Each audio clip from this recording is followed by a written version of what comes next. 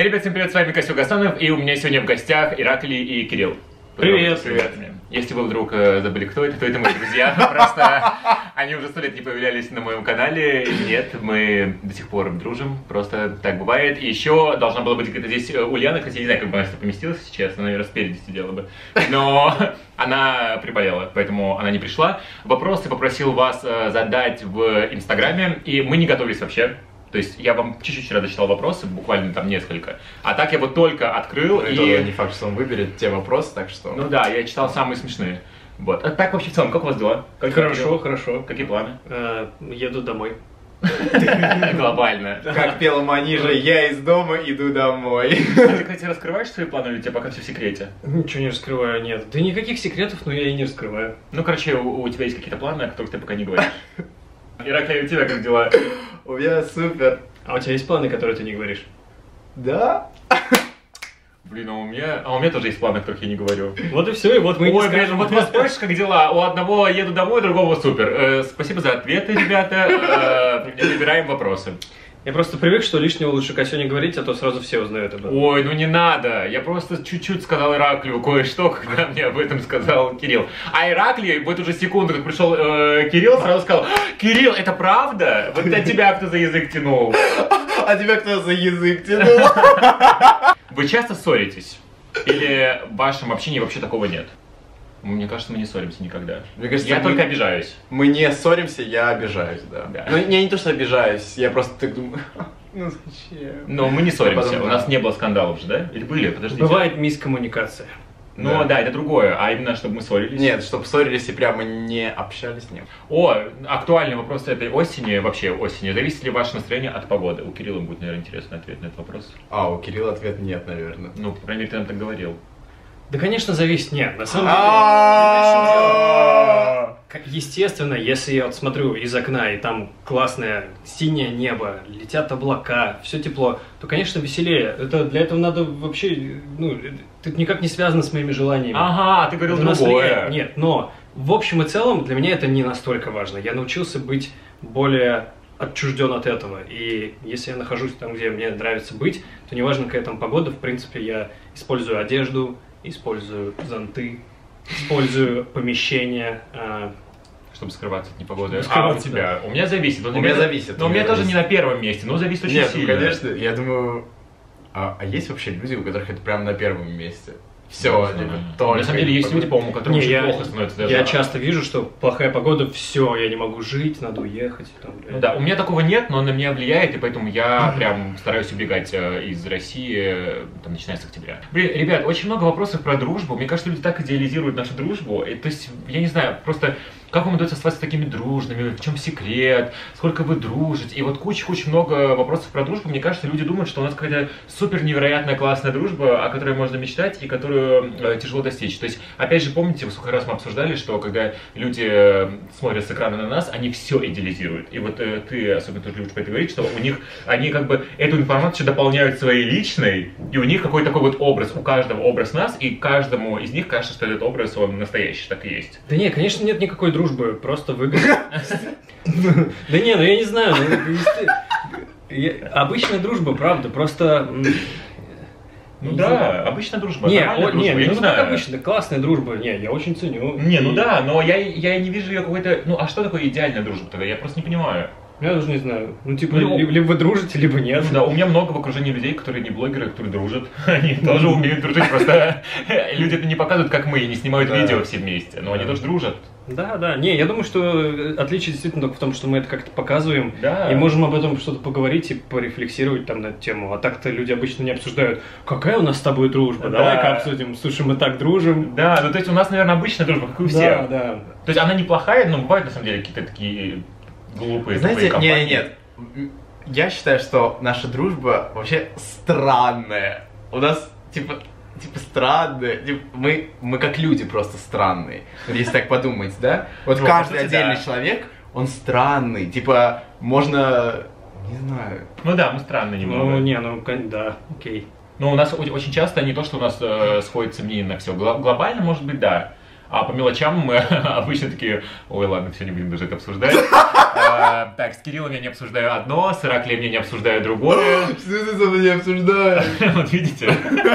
Я думаю, что мы сами просто не думаем о том, какова наша дружба. То есть мы просто дружим, потому Ну что...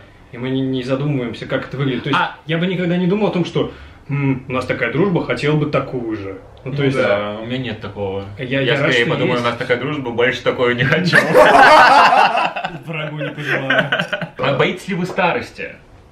Так часто люди задают вопрос, я вообще не боюсь, вообще, вообще. Мгм. Я не знаю, хотя мне уже 27. И Мне- тебе скоро мне- будет 27. Мне сложно представить просто старость. Я как могу ее бояться, если я не Ну знаю, что да. это такое. Мне кажется, просто в возрасте типа лет до 70 супер норм. После 70 просто тяжело немножко в плане здоровья. Я, может быть, этого немножко боюсь, что ты что-то можешь не, не, не смочь, если так можно сказать, сделать. Не, конечно, очень, с- ну, мне самому, э, как сказать, не тяжело представить. Ну, в общем, тяжело думать о том, что ты не будешь физически в том же состоянии, что сейчас. И очень хочется те возможности, которые имеются сейчас, чтобы были всегда. Ну да. Но, с другой стороны, я понимаю, что это на самом деле только часть того, той жизни и того мира, в котором ты живешь. И тем более, чем дальше, тем не так физически твои способности важны. Мгм. Да. Какую последнюю книгу вы читали? Я как не знаю. Пиши, сокращай. О, ты читаю. прочитал? Нет, читаю еще. Это та книга, которую меня отобрал. Кстати, между прочим. А ты? Ё-моё, чужие последние ты прям прочитал. Сейчас я открою книги. Ухаюй. Не помню, автор, я, по-моему, неправильно его написал. Называется фильм, ой, называется книга «Жить». Это китайский автор. Очень классная книга, А. очень классная книга. Называется «Жить», и она там прям про такую жизнь, жизнь э, настоящего китайца во время культурной революции и так далее. Прям, я прям зачитывался. И было так грустно, потому что ужасно грустная книга. Ты нашел, просто, наверное, не Сейчас читал. читал. Нет, я просто э, в процессе нескольких книг... Ну, назови одну Короче, скорее всего, скорее всего, я читал Курпатова последнюю, вторую его книгу из его трилогии. Последняя, опять же, называется она «Чертоги разума». Что? «Чертоги разума». Но, короче, Курпатова есть книга «Красная таблетка», есть серия. А вот это вторая из этой серии, сейчас я читаю третью. А, я не, я не хочу сказать, что я рекомендую. Ну, то есть, точнее, я, я могу посоветовать классная книга «Красная таблетка», но надо все время, типа, фильтровать. Мгм. Ну, как и все на самом деле, в любом случае нужно фильтровать. Ну, То есть да. ты- у тебя есть такое, где ты не фильтруешь информацию? Ну, я раньше не фильтровал. Нет, сейчас, на данный момент. Хоть что-то, где ты такой, вот этому точно можно доверять, и не фильтруешь. Когда смотрю твои видео. Ну, Кирилл, ну Да хватит. не знаю, я не знаю. Ну, нет, конечно. Бывали ли у вас времена, когда вы не хотели общаться друг с другом? Бывали и не Да. общались. Поэтому так бывает иногда. У меня нет. У- у меня бывали. И не только, и, и с несколькими участниками нашей дружбы. Ну, вот такие вот они друзья. Как вы относитесь к той активистке, которая обливала мужчин в метро? В Петербурге активистка обливала мужика в метро, мужиков, я только одну, одну картинку видел. Помните, нам Стас кидал? Да? Э, Водой, э, ой, не водой, чем?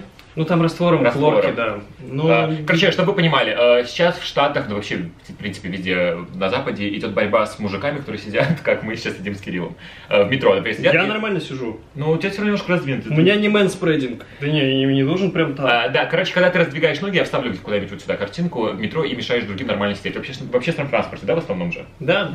Вот. И, ну, и чтобы вы не подумали, в общественном транспорте я так никогда не сижу. Максимум ногу на ногу, либо просто обычно сижу. И э, их ругают за это.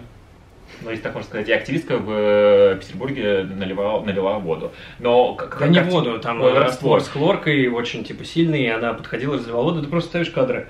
Ну, чё, ты, у тебя какое мнение? А, а я видел только один кадр, где мужик так сидел, а было много свободного места, поэтому к этому я отношусь негативно. Типа, я могу как хочу сидеть, если рядом много места. Я и рюкзак кладу, когда рядом много места. Ну, не, я считаю, что, окей, это может быть проблема, и да, мужикам нужно объяснять и парням о том, что не надо занимать полтора места, когда сидишь, то есть там Да. главное в этом предъява, Да. и я это понимаю. И чтобы всем остальным было комфортно сидеть, потому что иногда я сажусь, кто-нибудь раздвинул ноги, а ты сидишь вот так вот.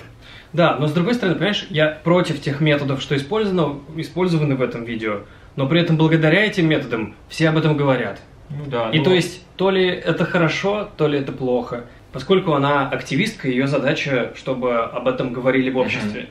И именно благодаря такому об этом начали говорить. Потому что как так? Она выливала раствор, раствор хлорки. Она не просто так именно хлорки выливала. Она могла бы просто воду выливать. Но она же специально на это пошла. ну да. Понятно, что это плохо, Но только, видимо, в этом случае кто бы стал бы вообще об этом Ну говорить? да, но И- это, как ты сказал, это активизм, они привлекают внимание Да. к какой-то проблеме. И это тоже, с одной стороны, нормально, и тут сложно сказать, что это плохо или хорошо, но я бы не хотел, бы, чтобы на меня вливал кто-то вообще что-то. Поэтому не раздвигай ноги. Да. Но нет, Вот даже если я раздвигаю ноги, можно делать замечания. Но Нет, опять я- же, то есть это, это не конкретно, что я против, просто я раз- размышляю. Нет, кор- короче, я поэтому не имею однозначной Да. позиции. Типа, я не знаю, да, ну, мне жаль тех людей, которые в это попали, но, видимо, она достигла своей цели, не знаю.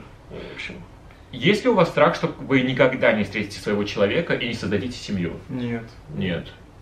Я почему-то знаю, что у меня все будет хорошо. Я тоже так думаю, что у меня будет хорошо. Не, Не, я знаю, я думаю. Я, я не думаю, что у меня будет все хорошо, просто будет как будет, все от меня зависит. Как вы относитесь к тому, если муж возьмет фамилию жены? Да нормально. Нормально. Ну, типа, пусть кто-то делает, что он Да. хочет. Я, я- я иногда не понимаю, э, когда задают такие вопросы, как мы относимся к чему-то, что касается двух людей. Это странный вопрос, как вы относитесь к чему-то, когда это, в принципе, не касается всего общества и тому подобное. Это, блин, ну, берет, дает. Пусть хоть возьмет фамилию соседа. Как вот, вот если бы меня спросили, как вы относитесь к тому, если жена возьмет фамилию соседа? Не, ну не, опять же, я понимаю, откуда этот вопрос, потому что в обществе есть такое, что жена берет фамилию мужчины. Но для меня А, я не понимаю, зачем. а, а я- мне, например, не нравится. То есть, Да, э, вот. мне не нравится, когда жена берет фамилию мужа. Вот, и тут типа понимаю, противопоставление, и тут противопоставление, что мужчина берет фамилию жены. Что типа как да. так наоборот. Но как бы лично для меня, если вы спрашиваете мое субъективное мнение, именно касательно моей жизни, я не понимаю, зачем брать, когда кто-то вообще берет чью-то фамилию. Мгм. У нас есть своя фамилия. А Слушай, почему? Если бы у меня, например, э, была жена, и у нее была бы своя фамилия, то если бы у нас родилась дочка, она бы, может быть, взяла мою, потому что я уже парень со своей фамилией, а у нее будет тогда жены. Что? Что? Я ничего не понял. Короче, Если вы в браке, то у дочки будет твоя фамилия. Не обязательно. почему? Мы Как можем решают? договориться, можем разным детям разные фамилии дать. Во-первых, раз- разные фамилии, это во-первых. Во-вторых, вы можете соединить фамилии. А еще можно не отчество, а матчество. Отчество вообще можно убрать. Мне не нравится отчество, например, Мне тоже. тоже не нравится Я бы хотел- Матчество. А у граждан. Грузии нет отчества. Да, я знаю. Очень удобно. Мне не нравится отчество. Я бы хотел, чтобы у меня просто была фамилия и имя. А, а еще матчество я хотел бы. Матчество. Так, ладно, перейдем к другому вопросу. Какие у вас сейчас приоритеты в жизни? Семья, карьера или хобби? А что за вообще приоритет хобби? Я бы назвал это саморазвитие. Ну ладно, Например, саморазвитие, за- карьера. Вот саморазвитие. А? Наверное, у всех у нас. Ну не семья же, у нас ее нет. Как может быть приоритет того, чего нет? Просто вот это такой вопрос, да. То есть, если появляется семья, появляется тот, с кем ее сделать, то бац, у тебя уже новый приоритет. Да. Ну, то есть, вот то, чем я занимаюсь, то, видимо, мой приоритет. Все же видят, что я делаю более-менее. Поэтому, да, наверное, мое дело приоритет. И в целом я сейчас не променяю на семью сходу. Но мы не знаем себя в конкретной ситуации. Да. Вот появится человек, с которым ты захочешь семью просто вот завтра, и забьешь на все, сменишь приоритеты. И не всегда это идет, кстати, э, ну, в ущерб карьере там или еще чему-то. Кто-нибудь вообще задумывается над приоритетами постоянно? Да, вот типа сидим, это так же, как какая у нас дружба, какие у нас приоритеты. Да просто Нет, ты просто живешь, Да. и если просто со стороны посмотреть, допустим, на свой там 2018, можно примерно понять, ну, на что ты больше отдавал свое время. Да. А именно когда, когда ты в процессе живешь, наверное, не задумываешься. Не, иногда можно задуматься. Или типа, когда есть выбор, да, типа выбрать, потратить время на что-то, или Ну потратить да. время, можно, например, поставить приоритеты. Мгм. Да вообще, ну, то есть нельзя выбирать из семьи и карьеры, на мой взгляд. Можно и то, и другое выбирать. И это тогда будет какая-то полноценная и гармоничная жизнь. Ну, то есть я, я не вижу здесь противоположности. Да. Мне потому кажется, все, все можно суметь. И я это вижу по огромному количеству примеров людей, которые мне нравятся. Если бы вы были едой, то какой? Яишенкой. Я был бы пиццей. Я почему-то безглютеновым. Ну чем? Бананом. Как вы думаете, нормально ли испытывать чувство одиночества? Да. У всех такие, на самом деле, похожие вопросы и проблемы, потому что, видимо, мы все такие одинаковые, блин, на самом деле. Вот Да. все вопросы очень похожи, э, с одинаковыми проблемами, страхами, страданиями. Вот просто вот вы не представляете, нас так много, мы все такие одинаковые. Каждый человек на самом деле есть ты. И поэтому, если ты желаешь чего-то хорошего другому человеку, ты, по сути, желаешь этого себе. И, типа, почему нельзя делать что-то плохое другим? Потому что это и есть все отражение тебя. Это подкаст ASMR. Короче, ребята, камера выключилась. У меня закончилась карточка. Поэтому мы с вами попрощаемся вот так вот. Кирилл, скажи им что-нибудь. Всем пока. Пока.